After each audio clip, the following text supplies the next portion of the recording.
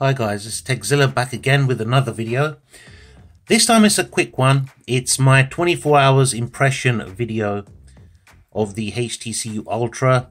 How I'm finding the device, having owned it for 24 hours. Um, build quality, we'll talk about usage, battery, etc.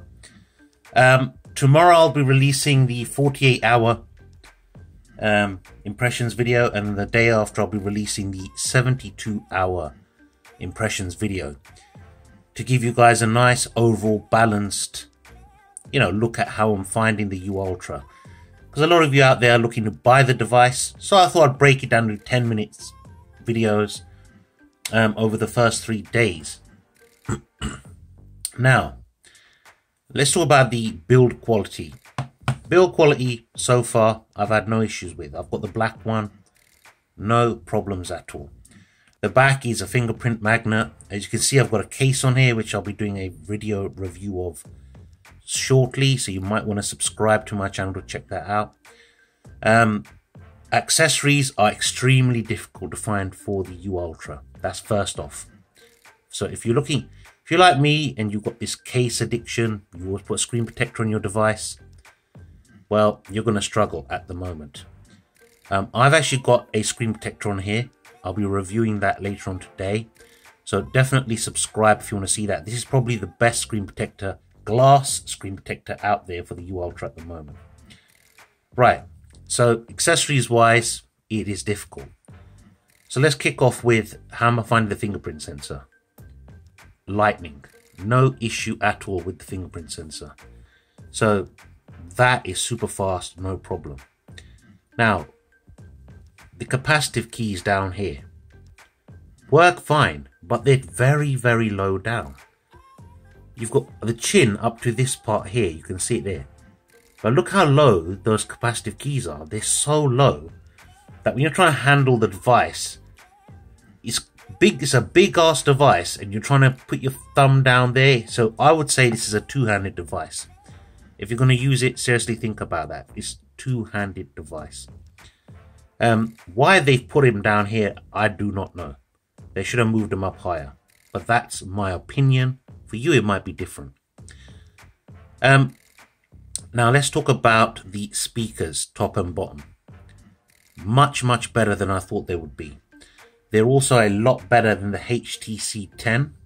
I'll be doing a comparison video between the the HTC 10 and the U Ultra, so you might want to check that out, guys. I uh, haven't done it yet, but it is being prepared as we speak. Um, this has got better speakers than the, the HTC 10, much better. Come out of that, eBay's launching. Um, another thing I wanted to talk about um, quickly with the fingerprint reader, which I didn't say, it's almost like it's too sensitive.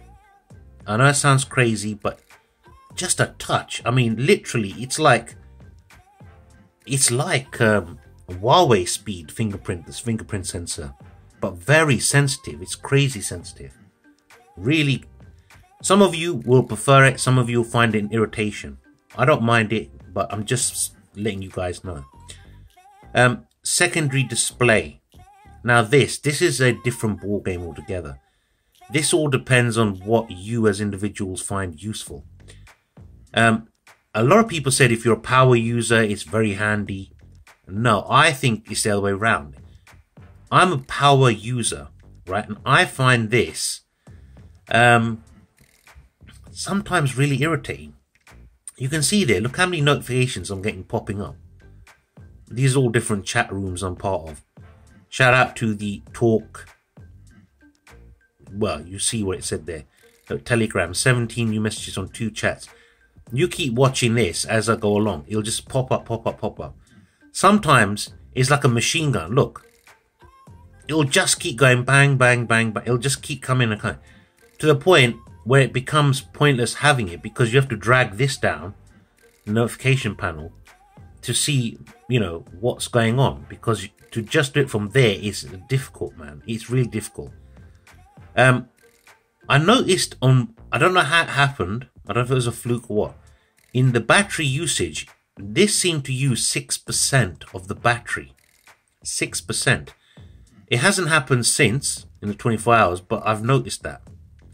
So whether this is not efficient yet, it probably will become better with updates over time. Um, who knows? But at the moment, mm, you know, it's. I would say if you're a power user, it's not super great. I tell you what I do like it for is when I'm using Spotify, um, because it comes up here, so I can control the music and so on. Um, now, if I switch this off, see the secondary display has gone off now and you can double tap it to bring it up. That's what they, there you go. It's not always the most consistent thing. So you can see that there and you can scroll through it like that. See, now this is an issue here.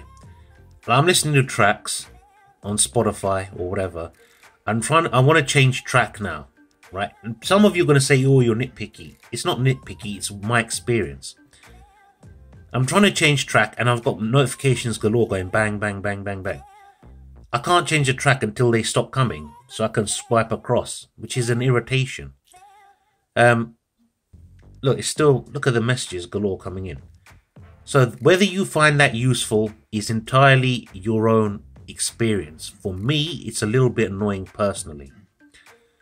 Um, cameras, I've tested them a little bit.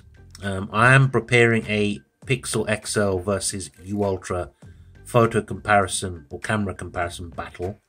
So, you know, you want to check that out.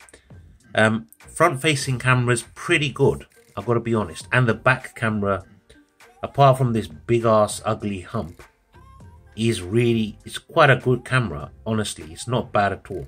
It's probably the best camera HTC have put into, you know, one of the devices. Um, it's better than the uh, HTC 10, definitely. I've compared to that. But um, as I say, I'll be doing that, a more in-depth videos on the camera of this device. Um, now, what else? We've talked about speakers are great. Ah, yes, let's talk about this. This is another thing I'm finding which is irritating. Well, not irritating, sorry. Let's start. The headphones that come with it. They're the USB Type-C headphones. And this actually caught me out earlier on. I was listening to music with these plugged in and the battery went down to I think 5% and I was scuppered. I couldn't use these. I had to unplug them, plug the charger in to get it going, get, you know, power the, charge the phone up.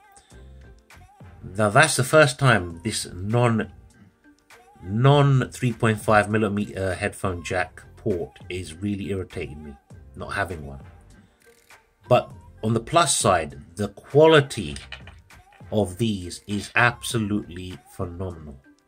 Absolutely phenomenal. I mean, super, super good quality. Really clear, good bass, excellent. And that, that's no exaggeration. That's me being honest with you guys. Um, and I plug these in here. You know what? I'll save the mics more in depth on my 48 hour impressions video of these But rest assured they sound excellent. Really, really excellent. Um, but as I said, I'll go into more depth with this and irritations I'm finding with this in my 48 hour video. Otherwise, I'll just end up going on here for the next 30 minutes talking about this device. Um, touch sensitivity of the screen, perfect, no issue there at all. Does it lag? It does sometimes, but then I need to let the phone settle down a bit because it is 24 hours later. Um, I've also got the HTC Sense Companion that's finally here. And let me just click on it real quick. Hang in there, I just need a little bit of time to prepare some suggestions for you. I'll provide you a variety of suggestions here. How long they'll stay depends on their type and relevance. Now I've had this on the phone now for about an hour, hour and a half, and it's still saying that. So how useful it becomes, I don't know. You know, that's neither here nor there. Now let's touch on battery. Last of all, in my 24 hours. I'm going to do this in three, over the three days. I'm going to try different styles of battery usage to accommodate everyone. So light user, medium user, heavy user, okay? Now, using this phone as a heavy user, I have found uh, with seven hours of um, bat on on battery usage, I get around about five hours, 15 minutes of screen on time with about 5% battery left. That's what I found so far. So if you're a heavy user, heavy, heavy user like me, if you're going to use over five hours screen on time, this will drain the battery off charge within, I'd say seven hours, you have a dead battery. Now, in my 48 hour impressions, I'll give you medium usage results. Um, and they are genuine. I will, I have been using it genuinely like that, and I'll release that video tomorrow. And in the 72 hour video, I will give you light usage of the device. But anyway, that's my impressions to start with. Is it worth £800 in the US? Is it worth £650 in the UK? I can't answer that for you guys. That's something you need to work out for yourself. All I can do is give you my opinion. I'll leave a link in the description where you can pick this up from imported because I've got the dual SIM version and it costs under £600. Anyway, guys, that's it. Subscribe to my channel right here. Give me a thumbs up if you like the video, thumbs down if you didn't.